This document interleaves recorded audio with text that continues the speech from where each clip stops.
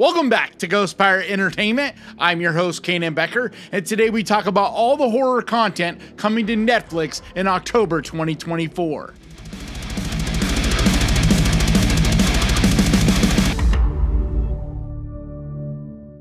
And with that, let's get to the list.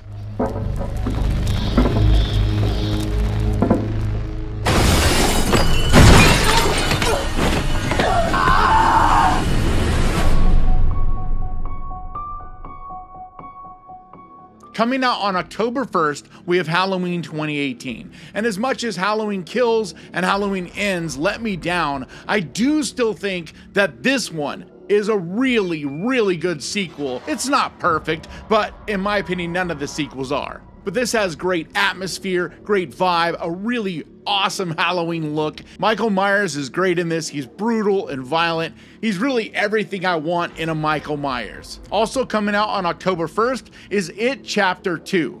And as much as I loved It Chapter 1, Chapter 2 didn't quite live up to that same level. It's still a great movie and a really solid conclusion, but it runs a little long, it's a little bloated, it has some issues, but I think it's still a very fun movie. I think Bill Skarsgård is amazing as Pennywise. It's just a really entertaining watch. Hello. Please. Another one that comes out on the first is Till Death starring Megan Fox. And this movie really surprised me. It's not a game changer, I'm not saying that, but it gets intense, it gets violent, it is really one of those that'll keep you on the edge of your seat. So if you haven't seen this one, it's a solid watch. We also have Yellow Jacket Season 1.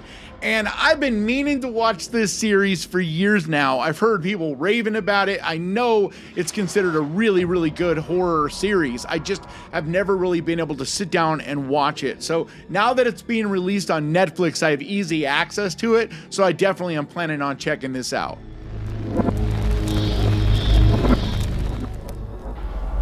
¿Qué busca en el hoyo? Tiempo. Next, we have The Platform 2, which comes out on October 4th. It's a Spanish sci fi thriller directed by Galder Larruccia. It stars Milena Smit, Hovik Keuchkerian, and Natalia Tena. After a mysterious leader imposes his laws in a brutal system of vertical cells, a new arrival battles against a dubious food distribution method.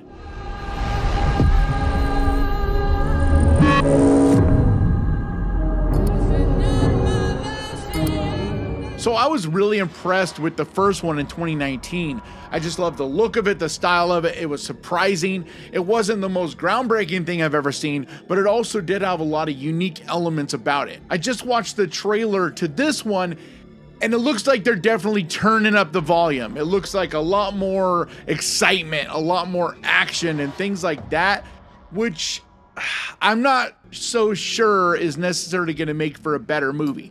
But this is just the trailer, and you never really quite know what a movie's gonna be like just from a trailer. But there was a simplicity to the first one. It felt cold, it felt haunting, and I think that's part of what made it so good. It was dark and demented. But it looks well shot, and the cast looks good in it, so fingers crossed this will be another banger. Also on the 4th is another Netflix original called It's What's Inside, and it's listed as a comedy horror movie. Written and directed by Greg Jardin, it stars Brittany O'Grady, James Morosini, and Gavin Leatherwood.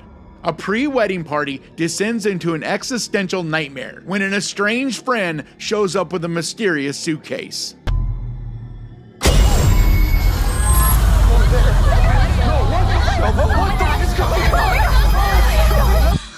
Trippy, huh? So this is one of Netflix big releases as far as horror this month, and it looks really good, but I'm hearing people talk about it as this year's Talk to Me. And that's a high bar, so I'm not really quite sure it's going to live up to that. But from the trailer, it looks really interesting. And you know I'm a sucker for existential horror. Like that's one of my favorite subgenres. And even though it's listed as a comedy horror movie, it looks light in the comedy and more heavy in the horror. So it looks like it's gonna get pretty dark and go pretty crazy as it goes. But from the buzz I've been hearing, this is one you should definitely put on your list.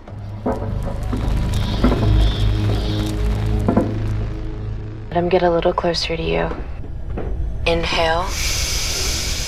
And on my mark, fire! See for Me comes out on October 6th, and it's a smaller movie, limited budget, but really well performed. And I like the idea of it. We've seen a number of movies that do things along the lines of this, but this one is really exciting and gets pretty damn intense.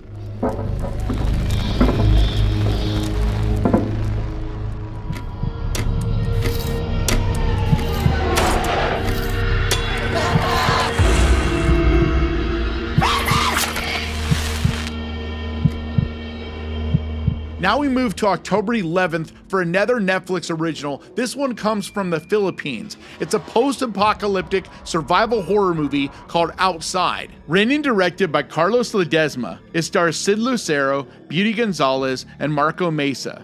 It tells the story of a family trying to outrun a zombie outbreak by returning to the father's childhood farmhouse.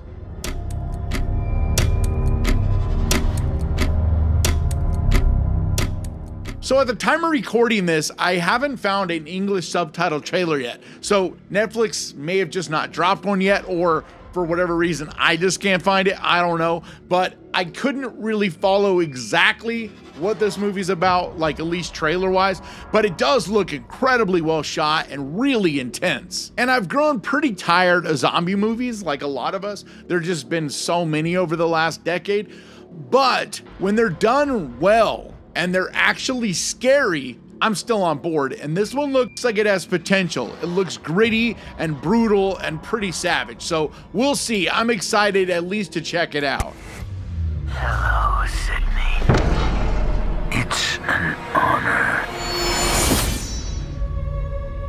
So Scream 5 or Scream 2021, whatever you want to call it, also comes out on the 11th. I'm guessing most of you guys have already seen this, but if for whatever reason you haven't yet, I think it's a lot of fun. I really love what Radio Silence did with Scream 5 and 6. It's a shame they're not coming back for number 7, but we'll see. We'll see what happens with 7. I am really on the fence. I, I kind of I don't know, my excitement for the Scream franchise has dimmed some with just the way everything has panned out over the last year or so with the franchise. A Quiet Place Part 2 also comes out on the 11th, which is another one that I think probably most of you guys have already seen. I think it's good. It doesn't really live up to that first movie, but it's intense, it's well shot, well acted, you know, a great cast. So if you haven't seen it, I think it's another one that you should definitely put on your list.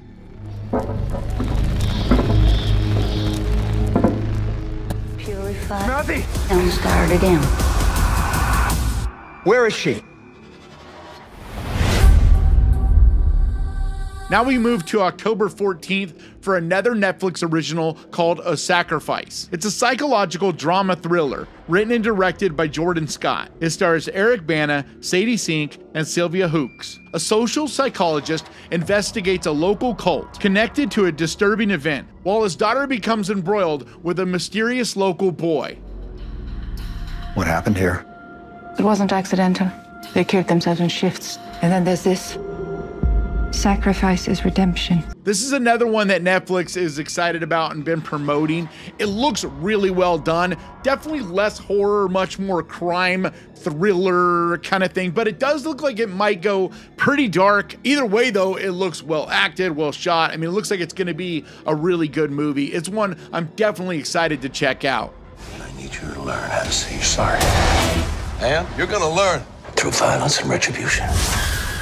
Also on the 14th, we have Unhinged from 2020 starring Russell Crowe. And this is a movie that I think really flew into the radar.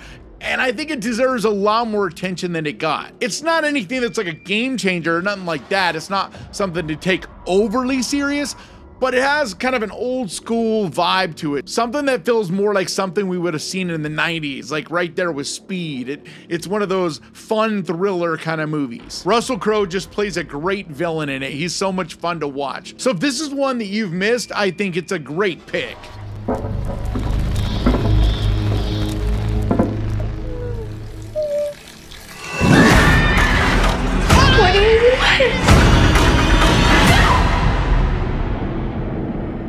Coming out on the 15th, we have Abandoned from 2022. Directed by Spencer Squire, it stars Emma Roberts, John Gallagher Jr., and Michael Shannon. After a young couple moves into a remote farmhouse with their infant son, the woman's struggle with postpartum psychosis begins to intensify as the house reveals secrets of its own. This door won't open. Yeah? I thought they just had a daughter. It's really weird because I have not seen this movie or even heard of this movie. And it's strange because it has a really, really good cast. So I don't know why I just didn't see this. I'm guessing it had a release since it came out in 2022. I don't know. It's just a strange one. And at least from the trailer, it looks pretty good. I mean, I don't think it's anything that's going to blow you away, but as far as like a weird haunted house, creepy kind of movie, this one looks interesting, especially with this cast. So I'm definitely going to be checking this one out.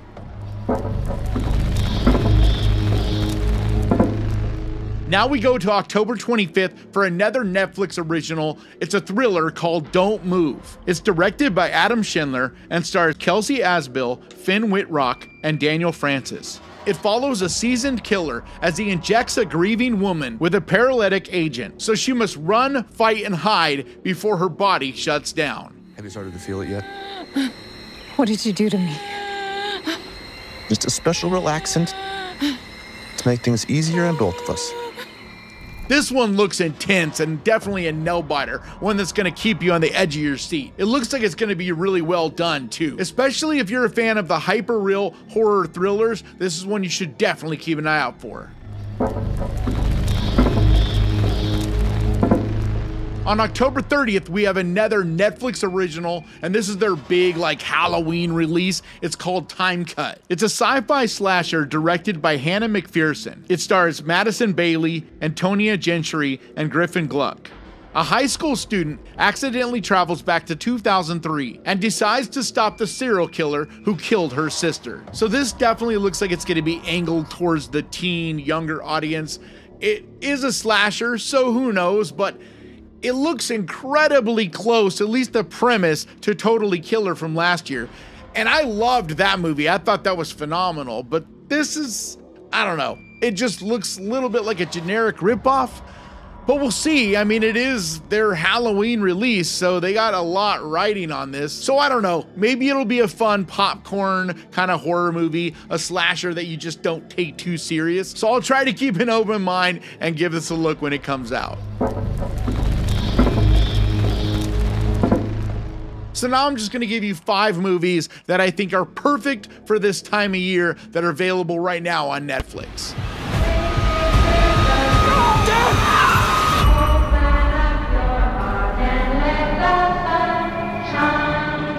First is the autopsy of Jane Doe. A lot of horror fans have seen this, but it still doesn't really get the credit it deserves. It's also a really good rewatch because it's just so moody and atmospheric, very, very creepy. I think it's a perfect pick for the spooky season, especially for anybody that hasn't seen this yet.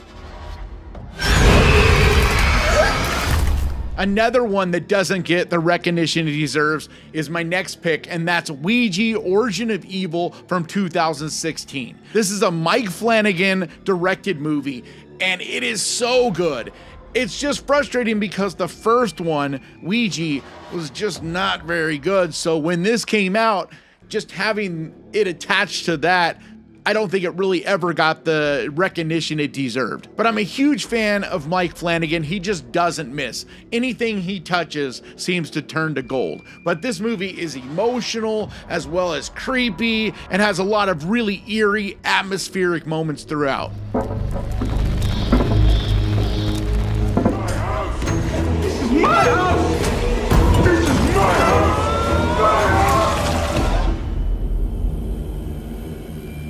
His House is from 2020, and this is one of the best movies, period as far as horror on Netflix. It's another one that just hasn't ever really got a wide audience. But this movie is chilling, it's haunting, it'll stick with you after you're done watching it as well. Some of the imagery and scenes in this will forever stick with me, but it has a real air of mystery throughout it as you're trying to figure out what's going on. It's about a refugee couple from South Sudan who escape and make their way to the UK, but it follows them as they try to adjust and deal with the harrowing things that they've gone through. But as things go, they start to discover a mysterious evil that's just lurking in the house.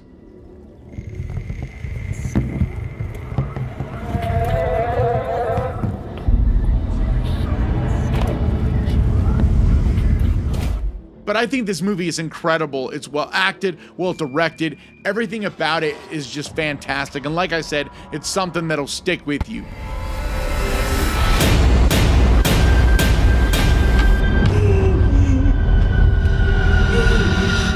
No One Gets Out Alive is a 2021 British horror movie. Directed by Santiago Menghini from a screenplay by Jon Croker. It stars Christina Rodlo and Marc Menchaca.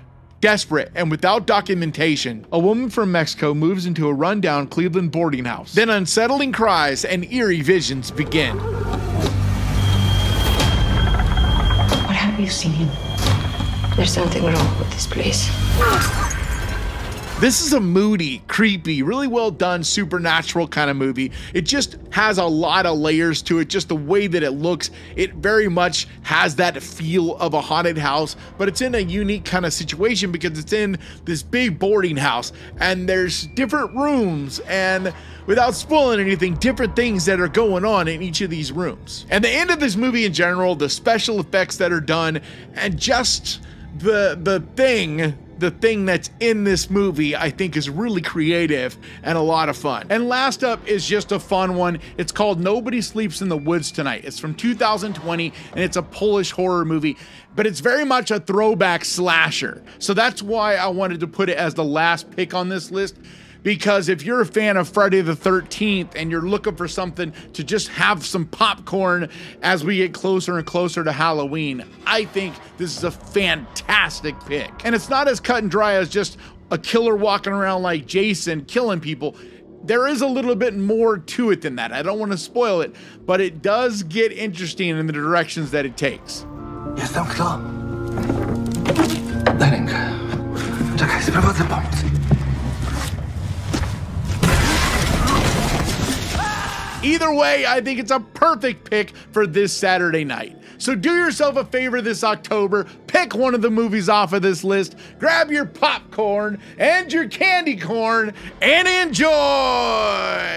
And I want to give a huge, massive, enormous thank you to the Ghost Pirate crew, to you guys over on Patreon, and to the channel members over here. You guys mean so, so, so much to me. And if you would like to find out how you can help support this channel over on Patreon, there's a link down in the description. Or you can become a channel member by clicking on that join button down there and help the channel out that way. But like always, thank you so much for watching. Please crush that like button. And remember, guys, Horror can be fun. And if you enjoyed this, click right here to watch me talk about 10 horror movies that I think will help get you into the Halloween spirit. And I'll see you guys next time.